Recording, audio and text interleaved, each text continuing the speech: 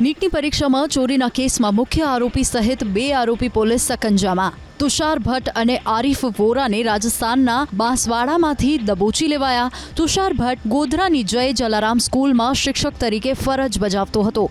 જ્યારે આરીફ વોરા વચેટિયાની ભૂમિકામાં હતો. તુષાર ભટ્ટની કારમાંથી સાત લાખ રૂપિયા મળી આવ્યા હતા.